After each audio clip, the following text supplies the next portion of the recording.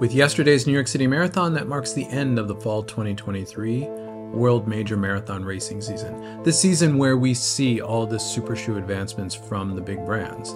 Now, yesterday was kind of the same story of Nike versus Adidas, but there were a couple surprises from On and Under Armour, two brands we rarely ever talk about. As I said in the intro, the New York City Marathon is the last of the world majors for the year, so this marks the end of the season.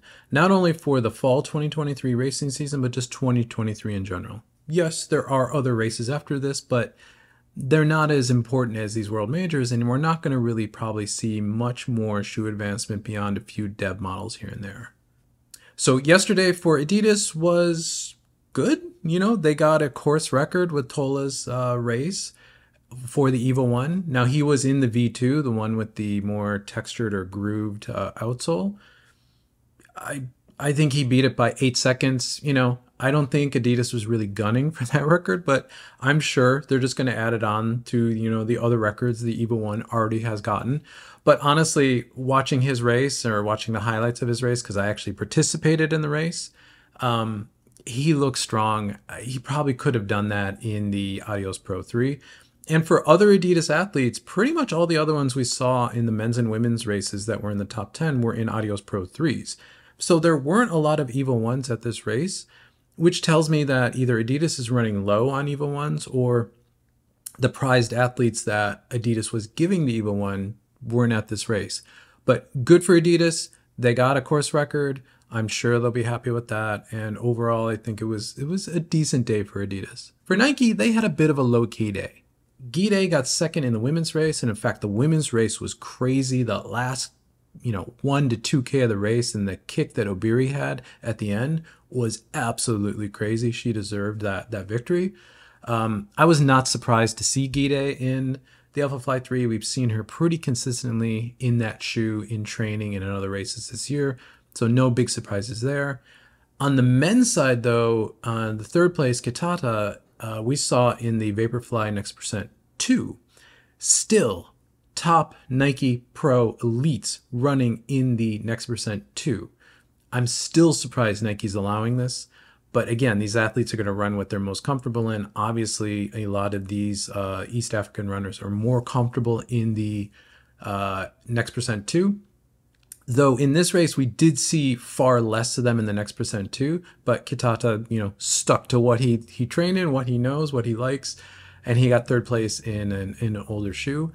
All the other top ten uh, Vaporfly finishes were Vaporfly threes, so uh, you know, I would expect by spring 2024 for this to sort of even out and for everyone to be in Vaporfly 3s or Vaporfly 4 prototypes or even 5 because I don't know if the 4 is going to be an update, an upper update to the 3 or it's going to be a totally new shoe. But we have been seeing more recent Vaporfly 4 leaks. Um, they look a lot more like the Alphafly 3. So stay tuned for that. We'll see what spring 2024 brings Nike in the marathon racing season. Now, for the surprises, you know, Asics was not really anywhere. There was a couple runners in the men's and women's races in the top 10. Um, I'm assuming they're in the dev shoes that we've seen, the Metaspeed dev shoe that we've seen, you know, pretty consistently this fall.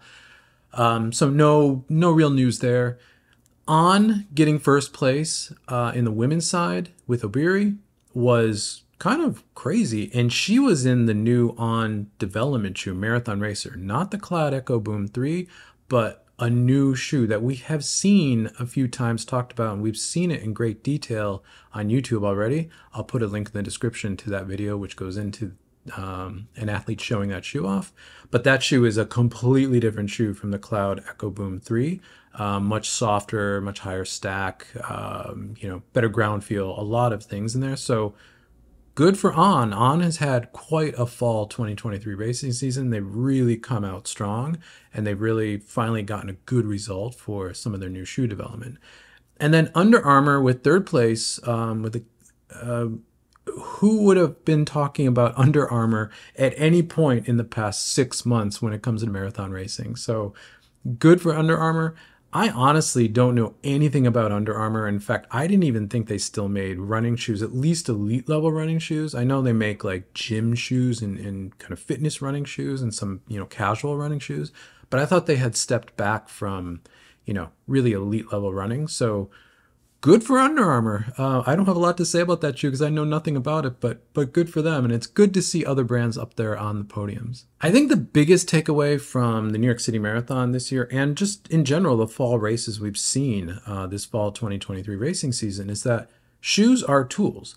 They're good tools. They will ha- help a runner that's having a great day have a marginally better day, but they're not going to make a runner who has had a bad day have a great day. So it does still come down to the runner, and it's cool and fun to talk about super shoes and see the latest and greatest on the feet of elites at these world major marathons. But I don't want to take anything away from the athletes and their training and how good a performances we've seen in these fall 2023 races for the top podium places. Thank you for making it to the end of the video. If you like this type of content, consider subscribing. You'll see more content like this pop up in your feed. If not, drop a like on this video because it helps this channel continue to grow, which I always appreciate. And with that, I'll catch you in the next one.